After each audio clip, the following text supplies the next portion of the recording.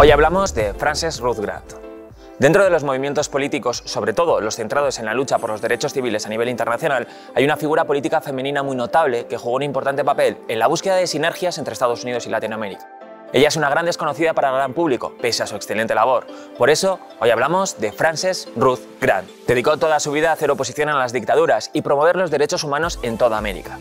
Esta dedicación fue vocacional, porque desde una edad muy temprana mostró pasión por la cultura latinoamericana, el arte y los derechos humanos. Digamos que en parte lo llevaba escrito en su propio ADN, porque su madre había sido una pionera en este ámbito en Nuevo México. De hecho, nació en este estado, en concreto en Abiquiu, un remoto pueblo situado en las estribaciones de las montañas del Valle Grande, y fue aquí donde se sumergió en la cultura latina. Si bien las escasas posibilidades de prosperar que ofrecía su pueblo natal le obligaron a poner su punto de mira en otros horizontes, siendo Nueva York el principal punto de referencia.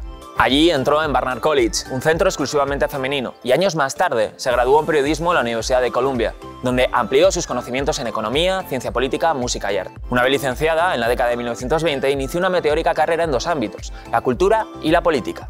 Impulsó el Nicholas Roerich Museum en la Gran Manzana, del que fue vicepresidenta hasta 1937. Su vida cambió de súbito en 1929, tras realizar un tour por Latinoamérica. Allí visitó diferentes centros universitarios y comenzó a tejer contactos para el intercambio cultural y político.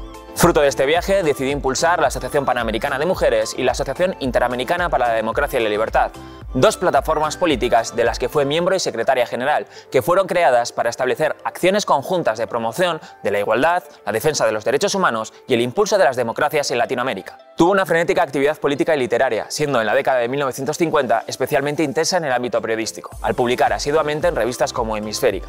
Esta circunstancia le llevó a mantener un contacto estrecho con diferentes intelectuales, entre ellos la escritora chilena Gabriela Mistral o el presidente venezolano Rómulo Betancourt. Igualmente estrechó lazos con el exilio republicano español, sobresaliendo uno de ellos, Jesús Galíndez, delegado del gobierno vasco en Nueva York, con el que coincidió en diferentes organizaciones culturales y políticas.